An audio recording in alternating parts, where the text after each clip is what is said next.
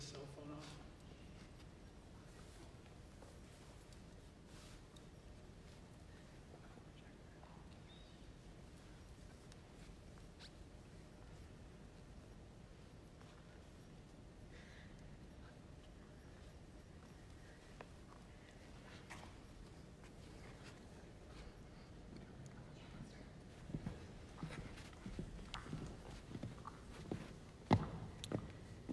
Hey, everybody. Good evening. Welcome to another episode of Faith Formations Pray Date. And uh, God is good All the time. all the time. God is good. Boy, all right. So tonight we're going to do a meditation, a prayer meditation, and it, it involves the imagination. We use our imagination just as with the Gospels. Uh, walking with Jesus for the last three years of his life, we're invited to use our imagination as we walk with Jesus. So tonight, with the Stations of the Cross, that's the, the prayer uh, practice we're going to do. We're invited to use our imaginations as we walk with Jesus for the last three hours of his life. Now, just a word of caution as we use our imaginations walking with Jesus those last three hours, it'll take us very close to the unimaginable torture that he suffered. But, but we are invited to go there not because there's value in seeing torture. That doesn't make sense. But we go there because there's value in seeing great love in action. That's what Jesus walking up Calvary. That was that's what it was about. Three hours on the cross. That's what it was about. So it's the stations of the cross are an exercise that not meant to glorify torture.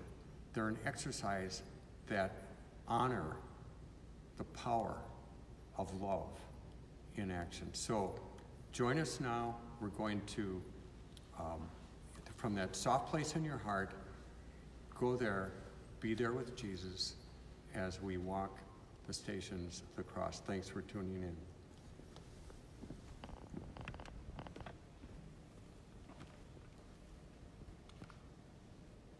The first station Jesus is condemned to death. There you stand before the crowd after being beaten. You never deny yourself, yet humbly accept the punishment given to you by those who had witnessed your miracles. It's easy to look at this scene now and think, how could they have accused you and condemned you to death? All you did was love every person you met. Yet they are not alone in your condemnation of you. How often do I ignore you at school in the person no one wants to talk to? How often do my words condemn you in the way that I speak about others? It is not only the Jews and Pontius Pilate who condemned you, but I stand next to them shouting just as loud, Crucify him! Jesus, forgive me for the ways in which I condemn and pierce others with my words and actions. Help me to love like you and to learn from your example.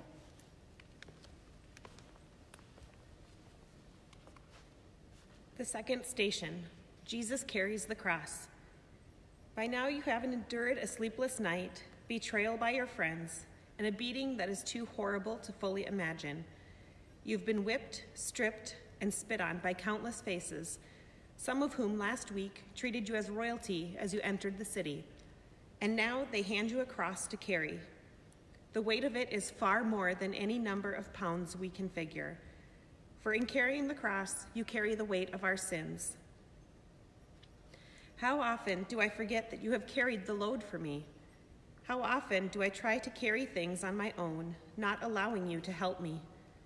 It was not only the sins of the world that you carried, it was my own it was my sin, my selfishness, my pride, my anger. Each added more weight to the load. And it was not only my sin you carried, but also my burdens, my worries, my fears, my sadness, my insecurities. Each you carried step by step towards Golgotha, the place of the skull. Jesus, help me not to forget the load that you carried for me. Give me the strength and the courage to let go of those things that separate me from you. The third station Jesus falls for the first time. As you walk through the narrow streets, every movement, every jolt burns and reopens your wounds. The pain, along with the weight of the cross, becomes too much and you fall. In boxing, when a fighter falls and is too beaten to continue, the fight is stopped by the referee. Yet there is no one there to stop the battle that you fight for us. Even though you know what still lies ahead, you do not stop and somehow find the strength to continue. How many times have I fallen in my walk? Too many to count, I'm sure. So many times when I fall, I don't feel like getting back up and trying again. There are too many temptations that I'm faced with that feel too fun and easy to do because so many around me are doing them. Jesus, help me to remember your courage and your perseverance when you fell. Give me the courage to get back up when I fall. Help me remember what it is worth, that it is worth it to live as you lived.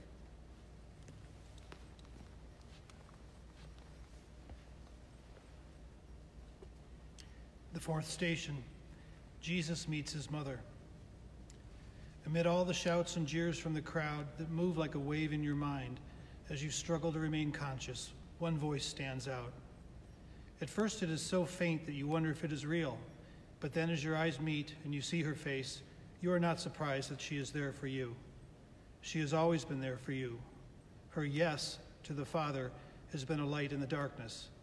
And now, here in your darkest hour, she is there. There are so many times when I feel alone in my struggles. It seems that no one understands what I'm going through, especially my parents, but I realize they must. How many times have I hidden things from my parents out of fear of what they would say or what trouble I would be in when all they want to do is love me? Jesus, help me to remember that I am never alone in my struggles. Help me to see my parents as you saw yours. Help me to know their love for me when things are hard between us. Help me to remember the light of your mother in my life.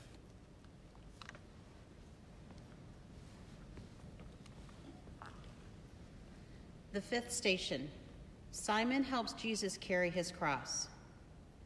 The soldiers who had beaten you all day had what appeared to be a moment of compassion. Yet instead, their selfish moves motivates, overrides their opportunity for charity. They only want to follow their orders and to get you up to the place where you will be crucified. How beaten you look that they decide to grab Simon, a Cyrene, out of the crowd to help you carry the cross. He follows behind you, walking in your steps, helping you move forward. You press on, knowing that the worst is yet to come. How often do I pass an opportunity to help someone in need?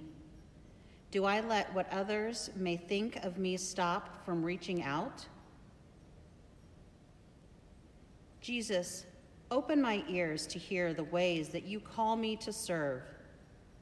Help me follow Simon's example of helping others. Help me to know what it means to be a true and faithful servant.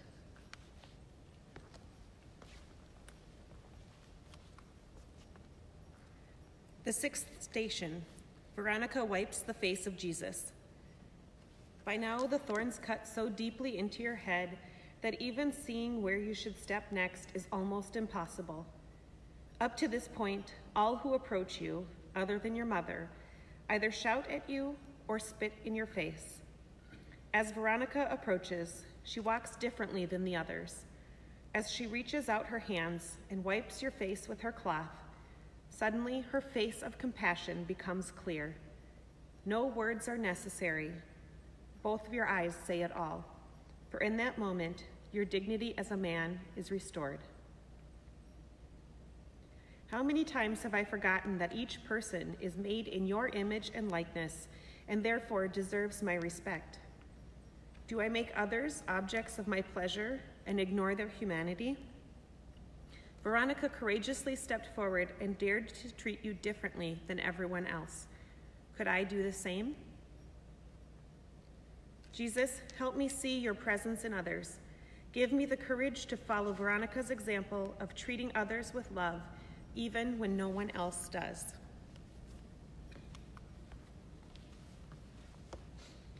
The seventh station Jesus falls the second time.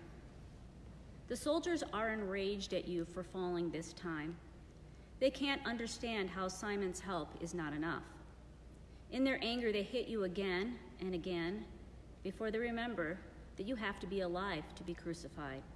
The beating stops, but the shouts and taunts become louder and harsher. At this moment, you can stop this. You are the Messiah and have the power to reveal yourself to everyone there. But you know that it would not fulfill all that is written about you. You know that you must be faithful to all of the Father's promises to his people. Remembering your love and your faithfulness, you get up. And now, with your wounds full of dirt and each step embedding it deeper, you keep going. How many times have I failed to follow through on my promises? Or worse yet, how often have I lied even to the people I care about? Do you remember your faithfulness even when I fail? Jesus, help me to believe in your faithfulness and love for me. Give me the grace to follow through on my word to others. Help me to be a person of integrity.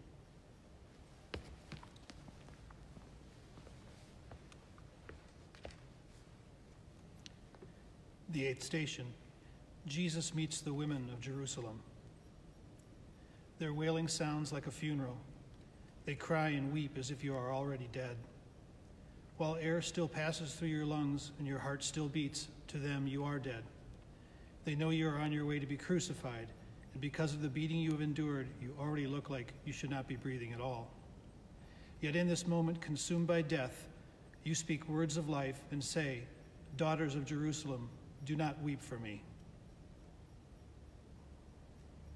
Do I listen to your words in my life? How often have the things I've watched or listened led me away from you? Have I allowed the gospel of life to reign in my heart? Jesus, help me to listen to your words of life. Show me ways that I can put you first.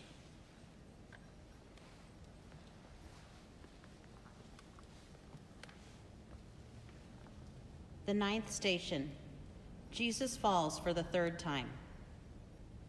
Again you fall, this time from sheer exhaustion. Only, will, only your will presses you forward, while your body refuses. How difficult it must be for you, fully God and fully man. God knows that this has been has to be finished and that this is not yet complete. Man feels the excruciating pain, and every bone in your body wants to stop right here and move no further. Somehow, both join together, and you muster strength to get up. You vow not to fall again because now you can see the place they are leading you to. You know the end is close, and so you press on. How many times have I let my flesh win over my spirit?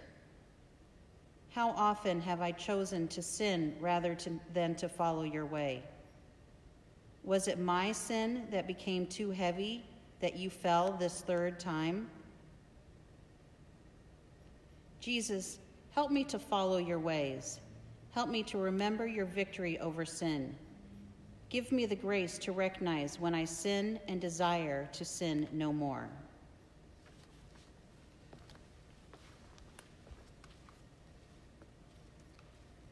The tenth station Jesus is stripped of his garments. In some ways, to get to this point is a relief because you know this is almost over. In other ways, it is terrifying because you know the worst pain possible for man to endure is still waiting for you. By now, your bloodied cuts have dried into your garments. Because of this, they act as a layer of skin for you, since so little of, your, of you remains. As the soldiers strip, you bear it as you bear it is not the nakedness that is painful, but rather the vicious tearing of your skin. The cuts that had closed now reopen, and once again a river of blood runs all over your body. You are stripped of your dignity as a man, for even animals are given a swifter, less painful death. How often have I judged others by the way they look or what they are wearing? Do I find my own self worth and self identity by the clothes I wear or the way I look? Jesus, help me to look past the outside of others. Help me not to judge them by how they look or what they wear. Help me to find my self worth and identity in you.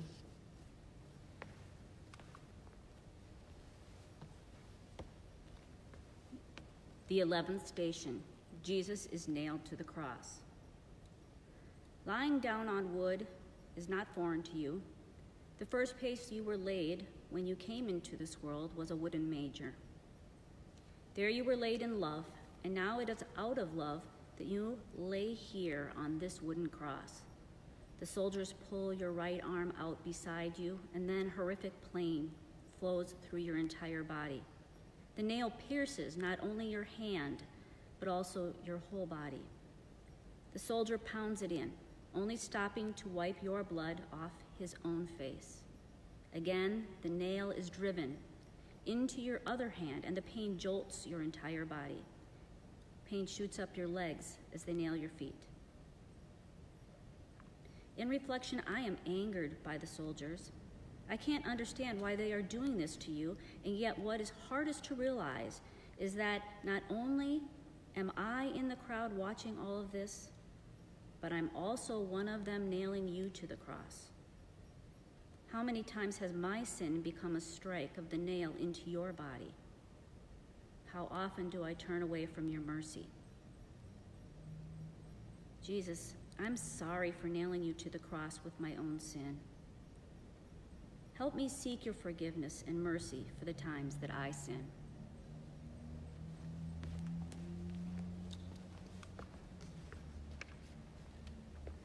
The twelfth station Jesus dies on the cross.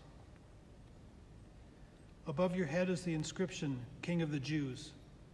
As you use every last ounce of life left in you to lift your body so that you can speak, you do not look the part. Yet every word out of your mouth is one of love, truly from another kingdom. The faces of all humanity must flash before your eyes as one by one you recount whom you are doing this for. And finally you say, Father, into your hands I commend my spirit. It is finished. You breathe your last, and it looks as though this is the end.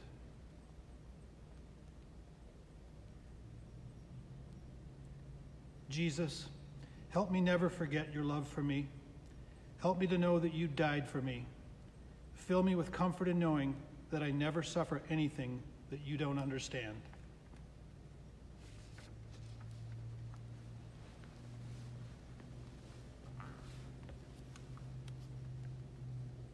The 13th station Jesus is taken down from the cross. The first arms that held you in this world are also the last. Your mother was told a sword would pierce your, her heart the day she presented you as an infant to the Father. Now she holds your body that is mangled beyond recognition. She sees not only the man she knows now, but also the child she held and her heart is pierced. Your comfort to her will, be, will come, but at this moment, she only has the Father to be with in the sorrow and pain. All hope seems gone. How many times have I lost hope in you? How often have I doubted your ability to be God in my life over all things? Jesus, Help me to trust in you.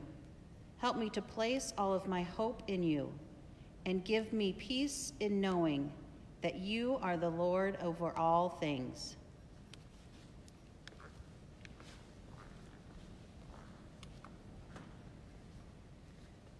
The 14th station Jesus is placed in the tomb. You are laid to rest by Joseph of Arimathea, Mary Magdalene, Mary your mother, and a few other women. As your body is anointed, Mary Magdalene remembers your eyes penetrating her heart. Tears stream down her face, along with the others there, as they too remember your love. They wrap your body in clean linens and lay it in a new tomb. The stone is rolled over the entrance, and now it is surely the end. Up to this point, death is final. While those you have lived with, laughed with, and cried with are in their heightened sorrow, believing that all is over, you are conquering sin and death. How many times has death felt like the end? When I've lost a loved one, it can be so hard to remember your victory. How often do I miss the opportunities to say I love you to those special people in my life? Do my family and friends know how I feel about them? Jesus, help me always remember that death is not the end. Give me the strength to say the words, I love you, to those people in my life that I do love. Help me to love every person, not just in words, but also with my actions. Jesus, I love you, I need you, and I trust you. Amen.